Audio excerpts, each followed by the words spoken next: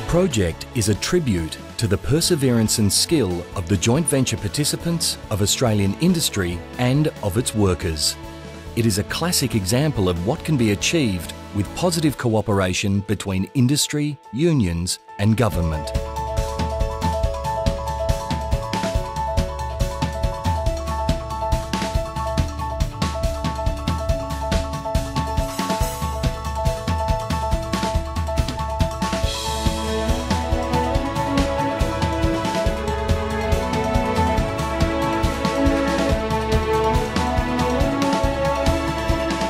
I signed around 634 times that night.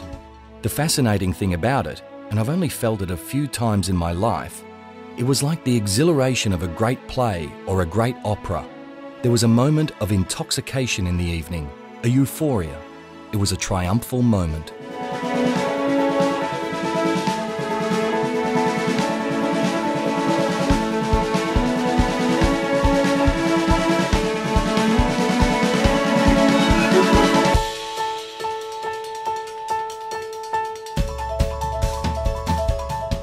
It is easy to imagine the thrill our predecessors must have felt when they were loading the first LNG cargo onto the Northwest Sanderling in 1989. As that vessel sailed from the port of Withnell Bay in Karratha, destined for Japan, it not only signalled the beginning of this flagship Australian project, but the start of an enduring relationship with the people of Japan.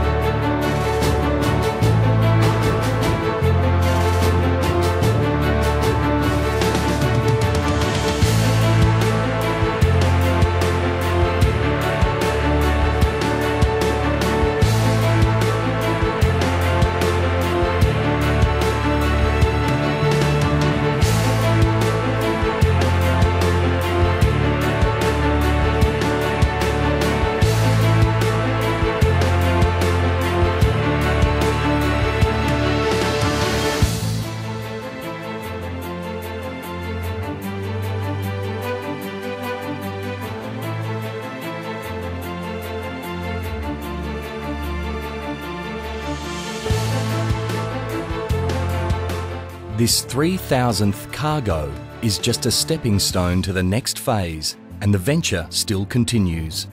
Even as time passes by and people change, we hope to pass on the relationship of mutual trust to the next generation.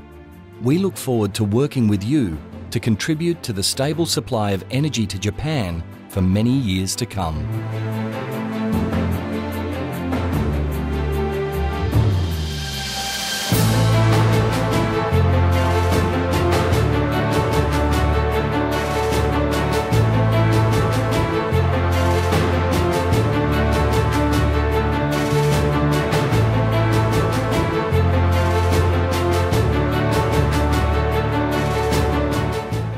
The Northwest Shelf Project was built upon vision and boldness.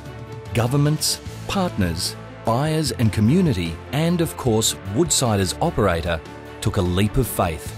We continue to push many of the boundaries in the oil and gas industry. And we have the assets, the people and the skills to reset the benchmark for the next 30 years.